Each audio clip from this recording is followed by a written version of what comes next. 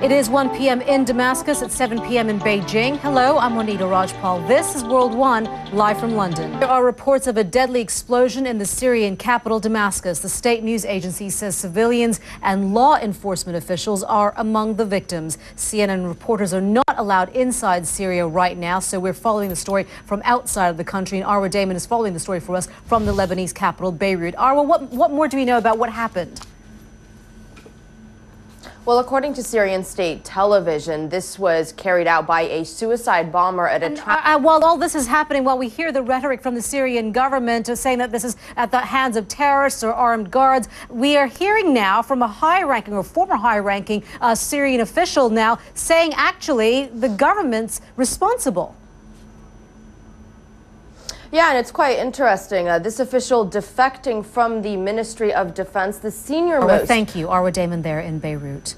Tensions between Iran and the West over a key international waterway could be tested again soon. Iranian media report the country's Revolutionary Guards will hold military exercises in and around the Strait of Hormuz in the coming weeks. Iran's Navy this week completed 10 days of war games. White House is switching the focus of U.S. military thinking to Asia and the Pacific to counter China's rise as a military superpower. President Barack Obama spelled out a, a shift in defense strategy. He says U.S. fighting forces will be smaller and cheaper in the years ahead when priorities are expected to look very different from the past decade. U.S. now placing greater emphasis on its ability to operate in the Asia Pacific region. We want to take you to Beijing and CNN's Eunice Yoon. Eunice, what kind of reaction has there been from Beijing?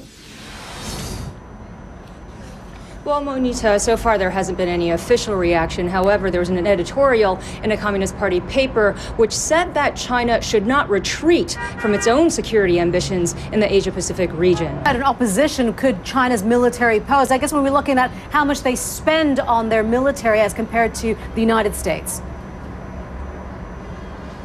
Right. Well, the United States definitely spends uh, more than any other country. Yes, thank you for that. Eunice Yoon there in Beijing. We want to see what newspapers around the world are saying about all of this. Here in the UK, The Independent has the headline Changes Mark Shift in Strategy and Emphasis. It's a common piece that goes on to say the cuts announced in Washington will still leave the U.S.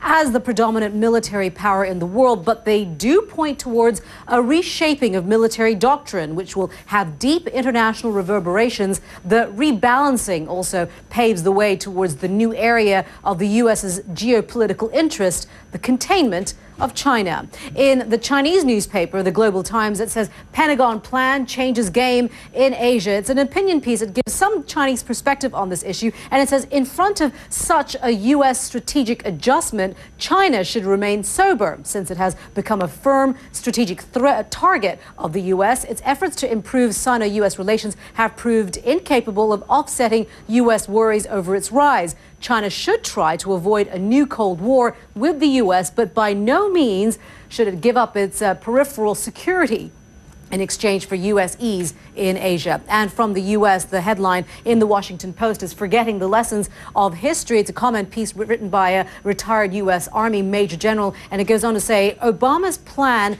forgets the lessons of history. His objective will be will be to win by not losing, to kill as an end rather uh, than as a means to an end. And we will enter the next year again, tragically short of the precious resource that we have neglected for six administrations our soldiers and Marines. Now we want to bring you a, a, bizarre story.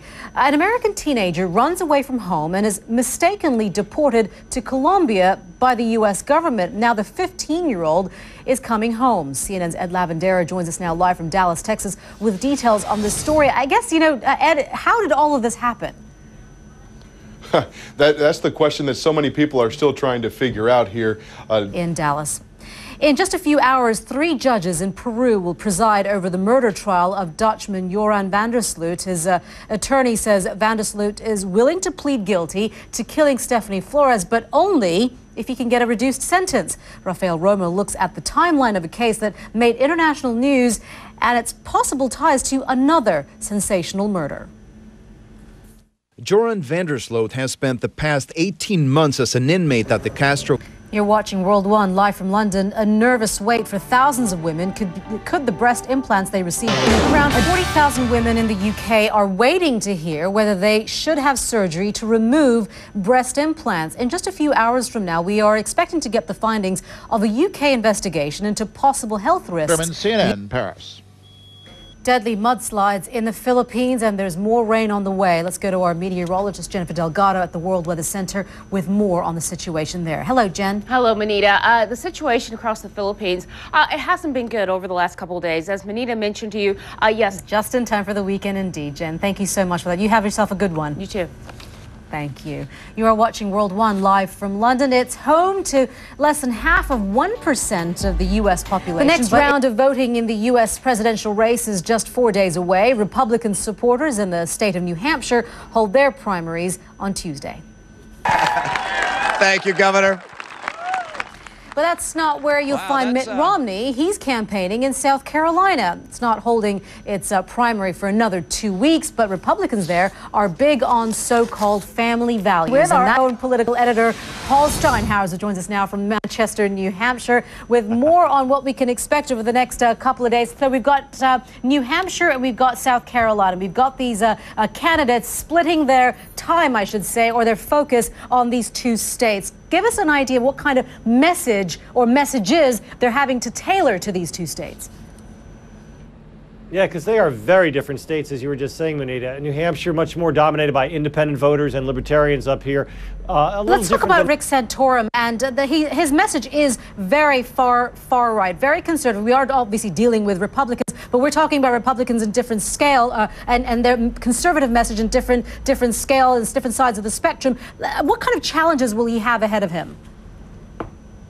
No, I think you're seeing that already right here in New Hampshire. He had somewhat of a rough day on Thursday in New Hampshire. He was heckled by some of Look the. forward to that, Mr. Steinhauser. Thank you so much for that. Paul Steinhauser there in Manchester, New Hampshire.